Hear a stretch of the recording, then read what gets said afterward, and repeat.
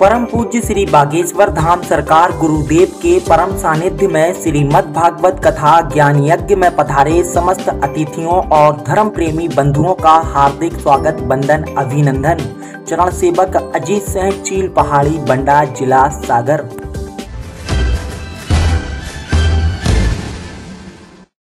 ठटरी शब्द का इस्तेमाल करके बुंदेली बाचाल ठटरी कोई गाली नहीं है। ठटरी बुंदेलखंड का एक भावनात्मक शब्द है। हमारे गाँव की माताएँ जब बहुत ज़्यादा क्रोधित हो कहते हैं नाचने निकले हैं तो घूंघट की क्या शर्म। नृत्य करने निकले तो घूंघट डालने में आपको क्या शर्म देखते हैं कहाँ तक मंजिल पहुँचती है।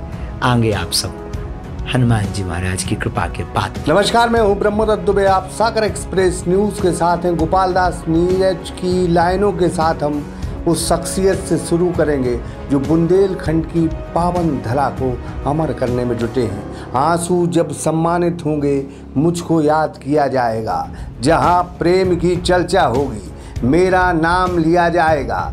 हनुमान भक्त और सनातन धर्म के संरक्षक, हम इस वक्त मुखातिब हो रहे हैं। बागेश्वर धाम के चरण सेवक, धीरेन्द्र कृष्ण शास्त्री से, जो हनुमान भक्त हैं कुछ बातें ऐसी होंगी जो सिर्फ़ सनातन धर्म की होंगी। कुछ बातें ऐसी होंगी जो सिर्फ़ हिंदू हित की होंगी। भागवत चील पहाड़ी में काफ़ी लाखों श्रद्धालु आ रहे हैं। उम्मीद सिर्फ़ ये है कि आपके मुखारबिंद से हर वो शब्द निकल रहा है जो इन हिंदुओं में एकता अलग जगाने का प्रयास करता हुआ दिख रहा है। क्या कहेंगे? जय श्याराम जय बागेश्वर धाम की। आदिकाल से ही भारत के ऋषि मुनि महात्माओं का यह ध्येय रहा है। उसी के लिए हमारे आदि जगत गुरु शंकराचार्य जी ने मंदिरों का निर्माण करवाया था, ताकि सभी सनातनी एकजुट रहें, एक जगह बैठ सकें, संस्कृति पर आने वाली पीढ़ी पर आने वाले समय पर चर्चा कर सकें। इसलिए आदि जगत गुरु शंकराचार्य ने मंदिरों का निर्माण करवाया और आदिकाल से वेद व्यास जी महाराज की परंपरा से श्रीमद् भागवत कथा, महाभारत आदि चर्चाएँ जो उन्होंने लेखन की हैं, ये सिर्फ़ और सिर्फ़ इसीलिए की हैं कि सब में एकता बनी रहे, सौहार्द्रता बनी रहे, प्रेम बना रहे और यह जीवात्मा, परमात्मा से मिलने का एक नया रास्ता खोले और आगे बढ़े। तो उसी परिकल्पना के साथ महापुरुषों का जो निर्देश है, संतों का जो निर्देश है, हमारे जो दादा गुरु जी हैं, उनकी जो प्रेरणा है, उसी को लेकर के आपने जो कहा, अलख जगाने का दास का प्रयास है, प्रयत्न है। देखते हैं कहाँ तक मंजिल पहुँचती है। आगे आप सब, हनुमान जी महाराज की कृपा के पात्र, जैसा सहयोग करेंगे वैसा होगा। कुछ बातें ऐसी हैं, जैसे जो सनातन धर्म के कुछ लोग हैं, वो कहीं ना कहीं कट रहे हैं। उनमें कुछ अज्ञानता है, कुछ भड़काऊ चीज़ें भी चल रही हैं। कैसा सब समेट पाएँगे? बहुत सारा, बहुत सारी चीज़ें कहते हैं, नाचने निकले हैं तो घूंघट की क्या शर्म। नृत्य करने निकले तो घूंघट डालने में आपको क्या शर्म है? साधु जी जीवन है, विश्व है, तुलसी या संसार में भांति भांति के लोग, कछु मानस, कछु देवता, कछु जय जय सीताराम, सब मिलेंगे, सबसे मुलाकात होगी। और इसी का नाम तो जीवन है इसी का नाम धर्म है, कि तरह तरह की बुद्धि के लोगों को एक साथ, एक पंडाल के नीचे बैठा देना, और एक साथ दृढ़ संकल्पित करके मानव सेवा करना, यही सनातन धर्म की खूबसूरती है। इस्तेमाल करके जी। ठटरी कोई गाली नहीं है। ठटरी बुंदेलखंड का एक भावनात्मक शब्द है। हमारी गाँव की माताएँ जब बहुत ज़्यादा क्रोधित होती थी तो बड़े लाड से बड़े उसमें क्रोध में बालक को समझना ठटरी के भरे तो इसका मतलब ये नहीं कि वो अपने बालक को मारना चाहे। ठटरी अगर बुद्ध की बुद्ध की भाषा में देखा जाए, अध्यात्म भाषा में तो ठटरी यथार्थ सत्य है। और ठटरी भरे हम उनको गाली बोलते हैं, या अगर आप कहें कि ये गाली है, हम नहीं मानते हैं। तो ठीक है, कोई बात नहीं। ठटरी हम उनको कहते हैं जो राम के नहीं है, अथवा जो राम के विरोधी हैं, उनकी ठटरी बरे जो राम के पक्षधर हैं, उनका भला। सागर संभाग में एक चर्चा गुरुदेव आपको लेके ज़रूर है एक छोटी सी जगह चील पहाड़ी, जिसमें व्यवस्थाएँ नाम की कोई चीज़ नहीं, लेकिन हज़ारों लोगों को रोज़गार मिल गया और ये धरती पवित्र हो गई।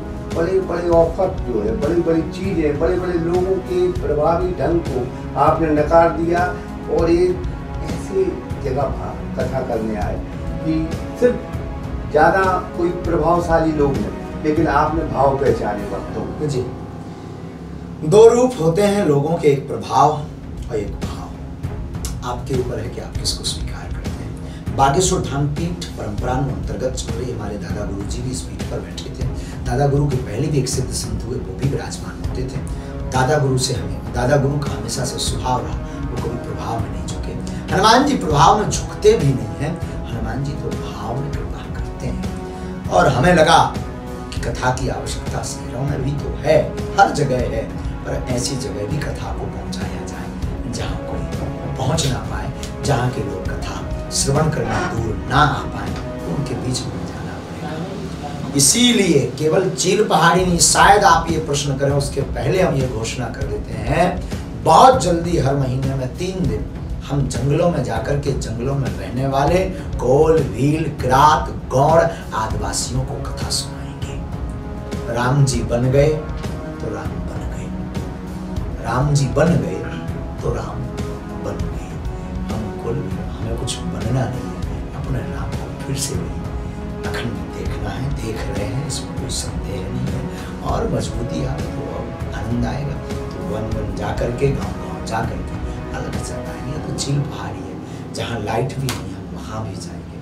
व्यवस्था महत्वपूर्ण नहीं है व्यक्ति के भाव की व्यवस्था आदिवासी बहुत पिछड़े हुए लोग हैं आप दर्द भी बता रहे थे सारी चीज़ें।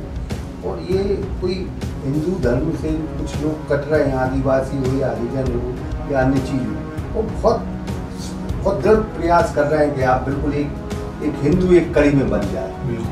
और ये जो आदिवासी का जो आपके मन में कैसे भाव आया? अचानक भाव आया, हमने सोचा बहुत लोग आत्मबंधन ऑब्ज़र्व वाले हम ज़्यादा है ऑब्ज़र्व करते रहते, बैठे रहते आनंद के साथ में पागलपन रात में भी बैठे रहते, नींद आती नहीं। बैठे बैठे आनंद लेते रहते हैं। विचार किया कि जिनको हम कथा सुना रहे हैं, वो तो पहले से ही वक्त है। वास्तविकता में जो कथा हम सुना रहे हैं, इस कथा की आवश्यकता है, उनको है, जिनके पास टीवी है नहीं, मोबाइल का इंटरनेट है है कथा को जाने थे कि कोई राम है, लेकिन वो पहचान नहीं पाए हैं, वो समझ नहीं पा रहे हैं। और बहक भी रहे हैं मिशनरियों के चक्कर में, हम उनके पास पहुँच करके, राम कथा सुना करके, उनके वो सबरी का चरित्र सुना करके हम बताना चाहते हैं कि आप उस वंश के हैं जिसकी सबरी में राम जी का इंतज़ार किया और राम को उनके घर आना पड़ा। या यूँ कह सकते हैं कि सबरी के घर राम को बहुत बहुत धन्यवाद सागर एक्सप्रेस पर बात करने के लिए। फिर मैं गोपाल दास नीरज की उस लाइन को कहकर गुरुजी से ये इंटरव्यू खत्म करूँगा कि औरों का धन सोना चांदी, अपना तो धन प्यार रहा, जो दिल से दिल का होता है, वो अपना व्यापार रहा। कैमरे के पीछे थे शंकर विश्वकर्मा, अनुज विश्वकर्मा और मैं हूँ ब्रह्मदत्त दुबे और आप देख रहे थे बागेश्वर महाराज जी का इंटरव्यू